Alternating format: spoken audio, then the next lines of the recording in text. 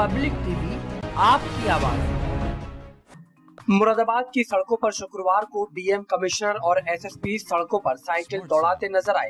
दरअसल मौका था विश्व साइकिल दिवस का तो अफसरों ने खुद साइकिल चलाकर साइकिलिंग का संदेश दिया। मुरादाबाद में अफसरों की ये साइकिल रेस दिल्ली रोड पर सर्किट हाउस से शुरू हुई और सिविल लाइंस में कंपनी बाग पर जाकर खत्म हुई। अधिकारियों की इस रेस के लिए सड़क को खाली कराया गया था इस दौरान ट्रैफ़िक वन वे रहा, ताकि अधिकारियों की साइकिल रेस में कोई खलल न पड़े। पूरे रूट पर commissioner Anjaneya Kumar Singh, DM Shailendra Kumar Singh, SSP Hemant Kutiyal, नगर आयुक्त संजय कुमार चौहान और महापौर विनोद अग्रवाल पूरे उत्साह से साइकिल दौड़ाते हुए नज़र आए। कंपनी बाग में शहीद स्मारक पर पहुंचकर अधिकारियों की ये साइकिल रेस खत्म हुई। विश्व साइकिल दिवस के अवसर पर मुरादाबाद में 100 प्रतिशत हाइब्रिड ई साइकिल परियोजना का कमिश्नर आंजनेय कुमार सिंह जिलाधिकारी शैलेंद्र कुमार सिंह, एसएसपी हेमंत कुटियाल और नगर आयुक्त संजय चौहान ने शुभारंभ किया। नगर आयुक्त ने बताया कि इस परियोजना की कुल लागत तीन करोड़ रुपए है। परियोजना के अंतर्गत शहर में कुल 35 बाइक स्टेशन तैयार किए जाएँगे, जिसमें 300 ई बाइक आम नागरिकों के उपयोग के लिए उपलब्ध होंगी। नगर आयुक्त संजय चौहान ने बताया कि ई बाइक पेंडल के साथ 50 किलोमीटर तक और बिना पेंडल से 20 से 25 किलोमीटर तक जा सकेगी। ई बाइक का टिकट चार्ज मेंबर्स के लिए पंद्रह सौ प्रति माह होगा। सरकारी कर्मचारी, स्टूडेंट्स और मेडिकल प्रोफेशनल्स को इसमें 10 फ़ीसदी तक की छूट होगी। नॉन मेंबर्स के लिए पंद्रह रूपए प्रति तीस मिनट तक ई बाइक उपलब्ध होगी। इसके बाद एक रुपया प्रति मिनट की दर से चार्ज लगेगा। आज हम ई बाइक शेयरिंग का उसकी शुरुआत करने जा रहे हैं। E bike sharing e bike जो है वो हाइब्रिड ई बाइक है, जिसमें बैटरी भी कर सकते हैं और इसको स्विच से भी चला सकते हैं। ये चार्ज करके चलाई जा सकती है और ये हमने मुरादाबाद के विभिन्न जगहों पर स्टेशन बना के इसको रखने की व्यवस्था की अभी हालाँकि सारे स्टेशन तैयार नहीं, पर बहुत शीघ्र हम उसको तैयार करेंगे तो करीब करीब शहर के हर एक जगह को कवर करेगी ये, जहाँ से साइकिल लेके जाया जा सकता है।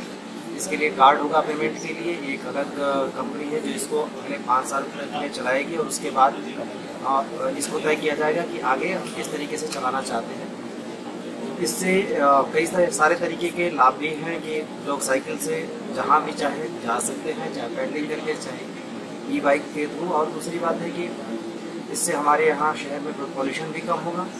लोगों के लिए ट्रैफ़िक के जो कंजेशन है उससे भी मुक्ति मिलेगी। सर प्रथम चरण में कितनी साइकिल हमारे पास टोटल 300 साइकिल का है। और ये अभी 300 साइकिल का टोटल प्रोक्योरमेंट तीन करोड़ के बजट से स्मार्ट सिटी के अंदर किया गया है। और इसके आगे जैसे जैसे ये बढ़ेगा उसके हिसाब से हम आगे इस शहर के लिए व्यवस्था करेंगे। अभी फ़िलहाल ये 300 साइकिलों के साथ सभी मुरादाबाद स्मार्ट सिटी की टीम को बधाई। एक और कदम मुरादाबाद के विकास में। 35 स्थानों पर 300 साइकिलों के द्वारा ये प्रोजेक्ट शुरू हो रहा है।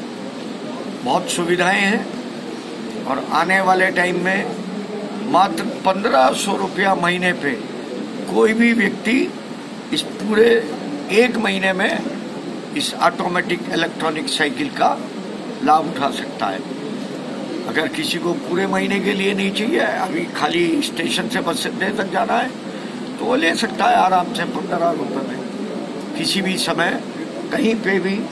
और ये जो एक कदम है, एक पर्यावरण के लिए, प्रदूषण के लिए एक बहुत सराहनीय कदम है। इसके लिए मुरादाबाद स्मार्ट सिटी की पूरी टीम बधाई की पात्र है। अब मुरादाबाद की जनता से मैं अपेक्षा करूँगा कि इस प्रोजेक्ट को, जो इसकी मूल भावना है, उसके अनुसार आप इसको चलाएँ, इसका लाभ उठाएँ और बाकी जैसी और आगे ज़रूरत होगी, उसके अनुसार और आगे बढ़ाई जाएगी।